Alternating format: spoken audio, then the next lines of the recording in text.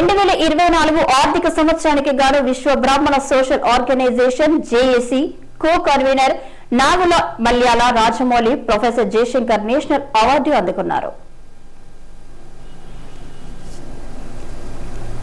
ఈ సందర్భంగా ఆంధ్రప్రదేశ్లోని తిరుపతిలోని నిర్వహించే రైటర్స్ ఏడవ సౌత్ ఇండియా కాన్ఫరెన్స్ సందర్భంగా ప్రొఫెసర్ జయశంకర్ అవార్డుకు ఎంపికైన వారికి అందజేయడం జరిగిందని తెలిపారు. అలాగే సేవాభావంతో ముందుకు వెళుతున్న రాజమౌళికి ఈ అవార్డు దక్కడం జరిగిందని తెలిపారు. అలాగే బహుజనుల సంస్కృతి సాంప్రదాయాలను ముందుకు తీసుకువెళ్ళే వారికి ఈ అవార్డు అందజేయడం జరుగుతుందని తెలిపారు. బీఎస్సీఏ జాతీయ అధ్యక్షుడు నల్ల రాధాకృష్ణ చేతుల మీదుగా అవార్డును అందజేశారు. ఈ కార్యక్రమంలో గౌతమ్ హనుమన్లు విష్ణు తదితరులు పాల్గొన్నారు.